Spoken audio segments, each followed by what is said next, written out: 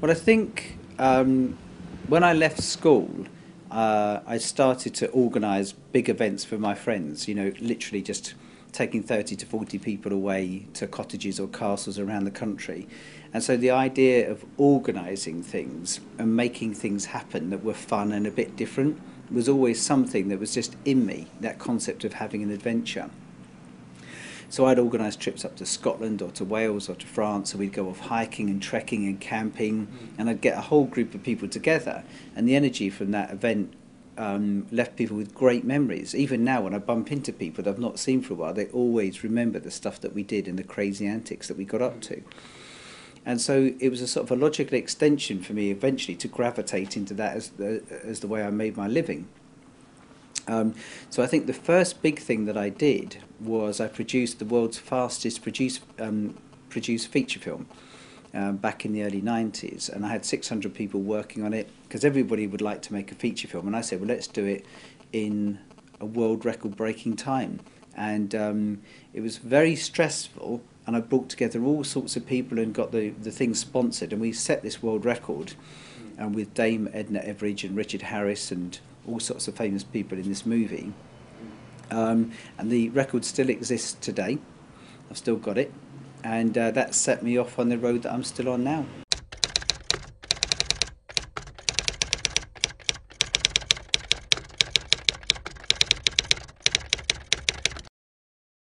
Well, certainly I'm probably better known for the work that I've done with Ewan McGregor and Charlie Boorman in Long Way Round and Long Way Down.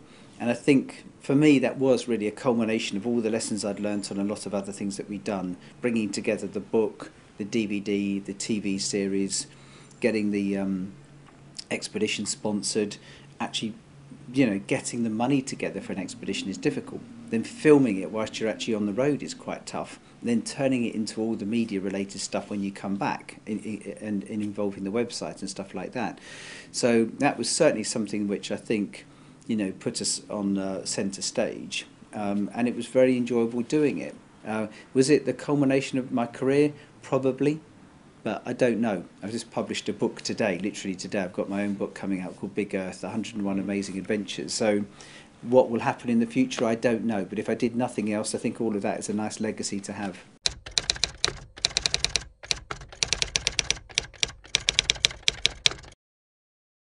It's definitely very satisfying when people stop you in the street, and it still happens even now. And people say, "I love that series. It changed my life. I've gone off travelling."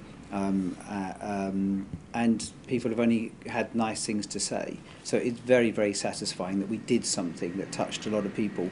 And if you're not into motorbiking, it doesn't really matter. The biking was the vehicle by which we had the adventure. So you could have been on horses, you could have been riding you know, bicycles, I suppose. Um, but the idea was that we went out into the world, we enjoyed the planet, and hopefully did some good at the same time with UNICEF. And I think everybody should do that.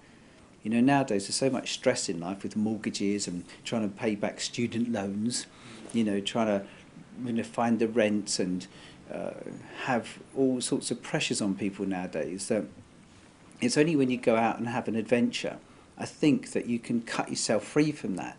And although you may have to come back to it, you come back with a fresher mind.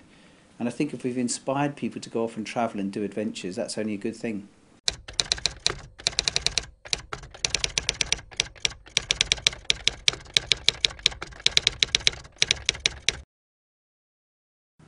Well, I absolutely put my hand on my heart and say I love Britain.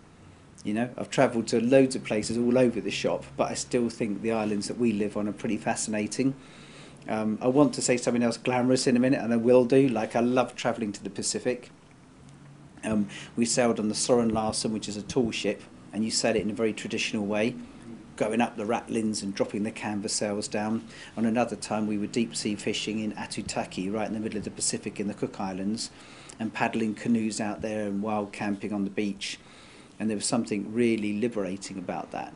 But I also loved the time I spent in, say, Guyana, um, in the tropical rainforest there, riding with the Vaquero cowboys. But I loved being in Panama, looking at the Panama Canal, seeing those huge Panamax container ships squeezing their way through these locks. Mm-hmm. Um, and I love the thrill of travel, and I love the thrill of the adventure, and I quite like also um, the idea of seeing new things. I'm not somebody who sits still very well. But coming back to Britain, I equally loved going across Dartmoor. I loved going up to explore the North Norfolk coast. Uh, I loved going on a narrowboat in North Wales, and I liked climbing Ben Nevis and also walking along Hadrian's Wall. So people instinctively think you've got to travel far away for an adventure, but it's actually on your doorstep.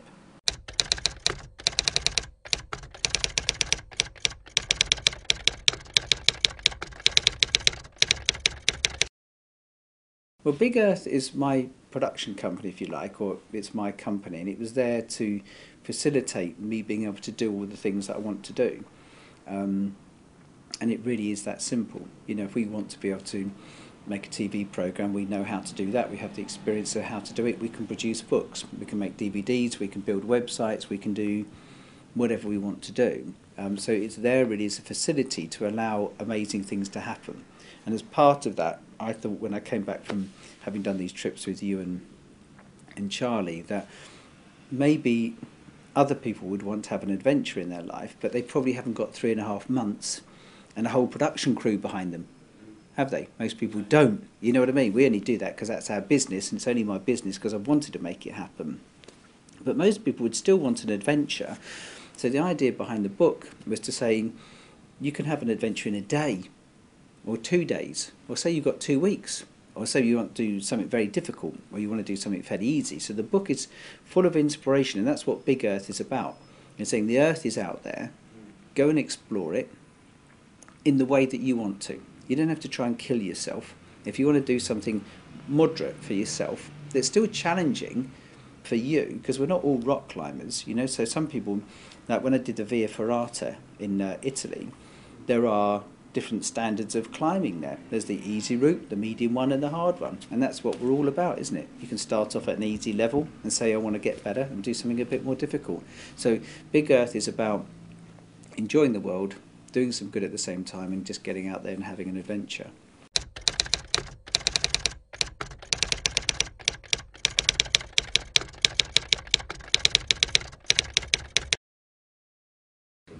Well, I think the, the title producer director is only a title because people want to be able to sort of, you know, put a label on you a little bit in this in this world. We all need labels. But to me, I just want to make things happen. You know, so if you want to call me a producer in a traditional sense, which is the person that puts the money together, puts the deal together, puts the infrastructure together to make the thing happen, and traditionally the director is the creative person that interprets it, the idea from a creative point of view and spends the money, then I want to be one and the same. Because if I've found the money, I want to then determine how we spend it and make sure that if we promise something to somebody here, that we deliver it here. So I tend to be involved right from the beginning to the end. Um, and in that role, I love it because you actually have firm control over everything and hopefully deliver back to everybody what you'd promised at the beginning.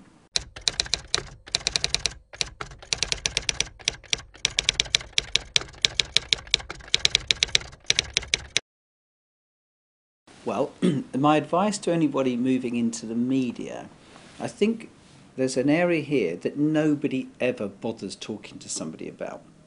Okay, so in other words, you could have gone through as many courses as you want, learnt as much as you want. Now, it depends what you're in. If you're in a technical field, then what I'm about to say probably doesn't matter so much. But it's your personality. You know, are you good with people? Are you able to persuade people to do something? Are you able to package an idea up in a way that people get it? You know, and this is this is part of the problem with a lot of people in the media. They think that um, it's all about just how to shoot or how to make, manage a camera, but really it's not. It's about you as an individual, and not enough time I think is given to say to people this is how you sell an idea. This is how you could improve upon the way that you actually sort of relate to people because it's a real people on people industry. And to make something happen, ultimately, you've got to persuade somebody else to say yes or to get the job that you want. It's not a question about show reels. It's a question of knocking on doors, being able to persuade somebody to get you on board as, as opposed to somebody else. Um, so I think the answer is that you say to people, look at you as a person Because if you're outgoing, bright, bubbly, vivacious, and a good communicator, you, then you'll get on. If you're going to just send your CV out to people and hope that you're going to get a job, then you'll be hoping for quite a long time. On the other hand, you might want to innovate and do something of your own to create a bit of a buzz around what you've done specifically. So you might just come up with an idea that you want to shoot, that you put it out there, you show other people this. With particularly with the internet, the possibilities now for people to show their own individual talent is endless. And if you've done something amazing, and the, the beauty of the internet, I think, is that you can do something quite simple, and it can suddenly capture people's imaginations. But to get something commissioned on TV at the moment is really hard. It is so difficult that it's almost impossible to get there. You know, you know. So a, a conventional television route is difficult, but with the internet opening up as it is, and companies wanting to sponsor stuff and get involved in stuff by a different funding model outside the the you know, the, the traditional route, I think actually the world's everybody's oyster now, and they need to think differently.